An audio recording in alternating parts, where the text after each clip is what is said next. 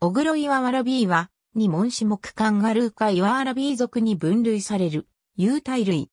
オーストラリア体長オス52.9から58.6センチメートル、メス51から57センチメートル。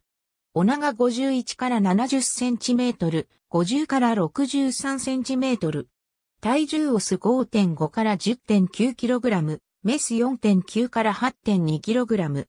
尾の先端は体毛が身長脂肪状になり、英名の由来になっている。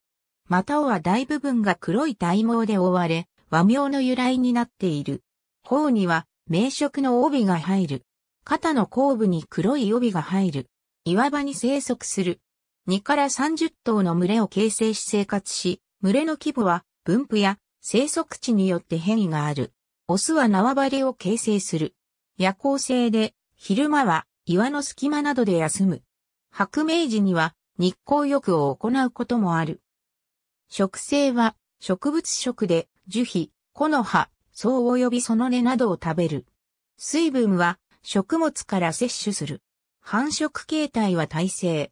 幼獣は生後約200日は母親の育児能の中で生活し、さらに3ヶ月後に血離れする。